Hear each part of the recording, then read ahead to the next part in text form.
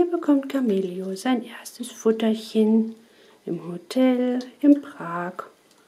Und es scheint ganz gut zu schmecken, was wir da mitgebracht haben. Die Bonnie hat schon aufgegessen. Die wartet.